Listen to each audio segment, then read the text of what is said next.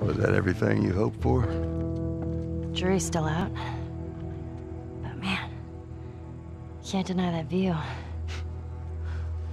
Come on, this way. When we first came up with Ellie and Joel, we had this idea in our heads of who they would be, but we didn't necessarily know the voice. It took us a while to find our Joel, but for Ellie, I think Ashley was the second or third candidate to walk in, and right away we knew. Yeah, you know Why are you so scared all of a sudden? Because, because I'm a coward, okay? So just get your shit. Let's get out of here. Damn it.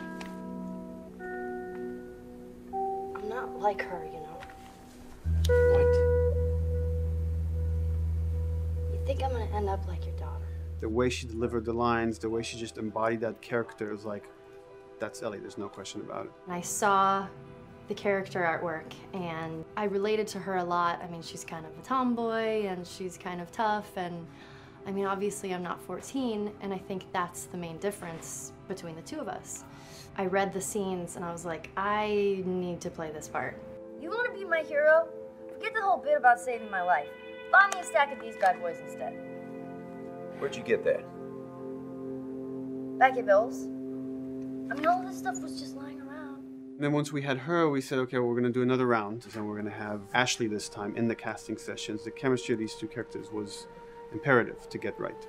Troy was a really interesting casting for Joel because when you see Troy, he doesn't look like Joel at all. You know, he's so handsome and he had like, you know, the frosty hair and totally looked like Final Fantasy. And so I'm like, yeah, I don't know. He's like this tall, pretty. Um, it didn't seem right. I walked into the room fully aware that I was the youngest person that they were seeing for this role. And it was a line that was in the audition side that says that Joel has few moral lines left to cross. And so that became the anchor point to the character. But then as soon as he spoke, and he had the grit in his voice, Warm, yet kind of dangerous. and his movement is just like you bought into it. Why are you so scared all of a sudden? Because I'm a big coward, okay? Now pack up your shit and let's go. God damn it. I'm not her, you know. What? You think I'm gonna end up like your daughter? Lily, you are treading on some very thin ice right now. It was Ellie and Joel. after he read, it was just like that was that was it. I've done some video games in the past, but to be handed the mantle of a franchise like this was a pretty big honor. Is she alive? She's alive. She's David's newest pet. Ah! Where? In the town. She's in the town. You mark it on the map.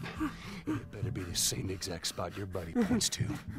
Neil pulled me aside one day and he said, I have some ideas. And as you're well aware, uh, Neil is a little twisted.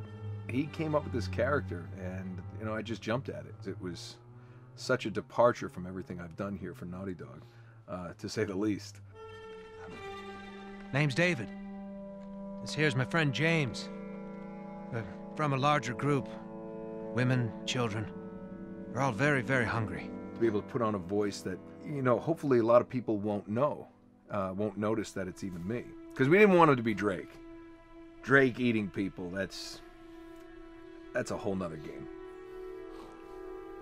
How did you put it? Tiny pieces. See you tomorrow, Ellie. you know, certain voices that I can do wouldn't fit the David's artwork. And but he showed me the art, and I, I said maybe it's something like this where everything's, you know, it's very quiet. And just, you know, he's not really sure and the voice can break a little. and he just looked. He goes, "Yeah, that's it." So it, it I, I'd love to tell you we hashed it over and we talked. No, it was, it, it just I looked at the picture and I tried something. He said, "Yeah." A few weeks back, I uh, sent a group of men out a nearby town to look for food. Only a few came back. And turns out that the others had been uh, slaughtered by a crazy man. And get this, he, he was with a little girl. You see, everything happens for a reason. Claire. Ashley, she brought humor to it. She just has some really great comedic timing. The way she reacts to the things around the world with a little bit of sarcasm, that teen kind of like trying to get a rise out of you. Now watch your step as you're going out, because it's going to be a little. It just brought a certain levity to the story that the story needed. You didn't even realize it needed it until she started doing some of that stuff. Oh, I'm sure your friend will be missing this tonight. Mm-hmm. It's uh, light on the reading, but it's got some interesting photos. Now, now, Ellie, that ain't for kids. Whoa! How how the hell would he even walk around with that thing? Get rid of that. What? Hold Just your horses. I want to see what all the fuss is about. Oh, why are these all stuck together? um, I'm just fucking with you. Bye bye, dude. Throughout the course of shooting over these past couple of years, Ellie and I have kind of morphed into each other, which I know sounds so cheesy. Neil always asks, he's like, Well, what would you do in this situation? I think the most important thing that Ashley brought is a sense of capability to Ellie's character that wasn't there in the beginning. The very first thing we shot involved her being pulled out of a car and attacked, and Joel is supposed to go save her. It was written that Ellie sort of was just kind of watching on the side, just waiting till he was done. And I was a little frustrated because I was like, well, I if this were real life, I would do something. We did a couple takes, and at some point she walked up to me and she said, I feel like I'd hit him. So we added in a part, like, you know, right there off the bat, she's not just this damsel in distress. Right there, she wanted to fight back from her very first day of shooting. We didn't have it right initially. She needs to be more capable than initially we thought she would be, and actually that made us go back and rethink combat and rethink a lot of the areas in the game.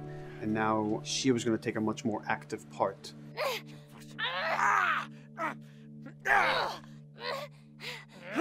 Anything that requires, you know, a lot of body movement, we do with the actors on the mocap stage, and we try as much as possible to use our actual principal actors, use their body motion as well as their voice. We captured all at once there on the stage. Having the actors perform as well as being recorded at the same time was imperative to get an accurate performance. Because every time you, you split up the performance in any way, you lose some of that magic where they, they did a gesture or they delivered the line a certain way. And those things have to be in sync, or there's just something subconscious that's like off putting about the performance when you don't do it that way. You are treading on some mighty thin ice here. I'm sorry about your daughter, Joel, but I have lost people too. You have no idea what loss is.